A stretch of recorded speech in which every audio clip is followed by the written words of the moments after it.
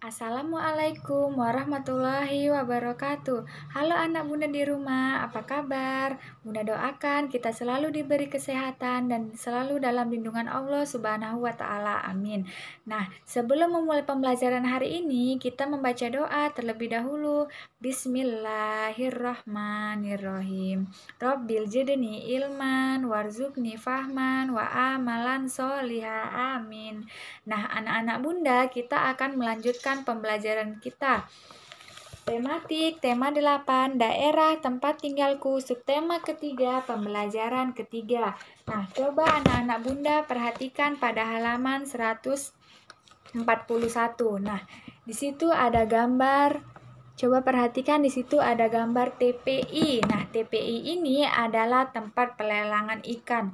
Nah, kemudian anak-anak bunda tahu nggak ini gambar apa? Ini adalah gambar seorang nela, nelayan. Jadi nelayan itu bekerja mencari ikan di laut dan hasil tangkapan ikannya digunakan untuk memenuhi kebutuhannya sehari-hari. Nah, anak-anak bunda, kita akan memasuki pelajaran tematik bahasa Indonesia. Anak-anak bunda masih ingat nggak cerita fiksi itu apa? Nah, cerita fiksi adalah cerita rekaan atau hayalan pengarang berdasarkan fakta yang dialami oleh si pengalang sendiri atau pengalaman dari orang lain. Nah, jadi coba perhatikan ayo membaca di halaman 141 sampai halaman 143. Di situ ada cerita tentang nelayan dan ikan mas dan itu kalian baca ya, Nak. Kemudian kalian kerjakan latihan soal di halaman 143 sampai halaman 144 ada 1 sampai 5. Nah, Kemudian dalam teks fiksi itu ada namanya tokoh. Jadi tokoh itu adalah orang yang memerankan suatu peristiwa dalam sebuah cerita yang diperankan. Nah, jadi nak tokoh itu terbagi menjadi dua yaitu ada namanya tokoh utama dan tokoh tambahan.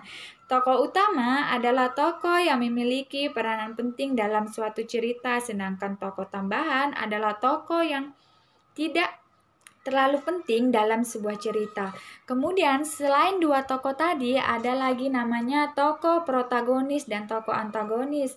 Kalau tokoh protagonis ini biasanya dia dikenal sebagai tokoh yang baik. Jadi dia tokoh yang memiliki sifat baik sehingga dia disenangi oleh si si pembaca. Sedangkan tokoh antagonis ialah tokoh yang tidak disenangi pembaca biasanya karena ia peranannya tidak sesuai yang didambakan oleh si pembaca. Nah, kemudian nak, eh, kita lanjut pada tematik PKN. Anak-anak bunda masih ingat nggak karakteristik itu apa? Karakteristik keragaman yang ada di Indonesia itu banyak sekali loh nak. Jadi karakteristik itu adalah karakter uh, atau ciri-ciri yang dimiliki yang melekat pada diri seseorang. Nah jadi nak Gimana ya kita sebagai warga Indonesia hendaknya kita harus saling menghormati perbedaan karakter. Apa sih manfaatnya? Apa sih manfaatnya dari perbedaan karakteristik itu? Nah, yang pertama ada dapat belajar saling menghargai karakter setiap individu. Yang kedua yaitu belajar bersosialisasi. Yang ketiga yaitu adalah belajar Toleransi yang keempat yaitu saling melengkapi sesama individu dan yang terakhir adalah hidup hukum dalam masyarakat. Nah, setelah kalian nanti membaca di halaman 146 sampai halaman 147, di situ ada ayo berdiskusi dan ini adalah berdiskusi dengan orang tua. Jadi untuk untuk orang tua di rumah silahkan membantu anaknya ya Bunda. Nah, jadi di kolom tersebut kalian isi ada mm, empat kotak itu kalian isi ya nak. Kemudian kita lanjutkan pada tematik IPS. Anak-anak bunda coba perhatikan di halaman 148. Anak-anak bunda di situ uh, ada gambar seorang peta petani.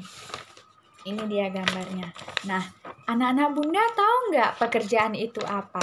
Pekerjaan adalah salah satu karakteristik individu dalam masyarakat. Nah, jadi nak, misalnya petani ini, jadi nak kalau pekerjaan itu dia uh, adalah salah satu kegiatan ekonomi. Anak-anak Bunda masih ingat kan kegiatan ekonomi itu apa?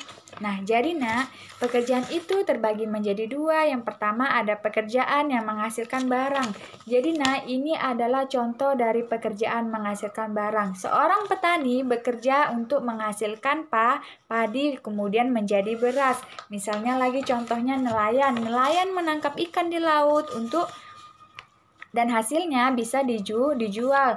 Kemudian yang kedua adalah pekerjaan yang menghasilkan jasa. Kalian perhatikan, nah ini adalah seorang guru yang sedang mengajari murid-muridnya. Nah jadi nak, guru itu termasuk salah satu pekerjaan yang menghasilkan jasa. Jadi guru itu bukan menghasilkan barang.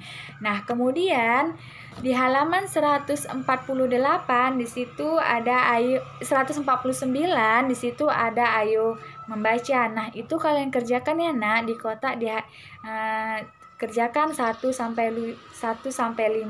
Nah, sekian penjelasan dari Bunda. Wassalamualaikum warahmatullahi wabarakatuh.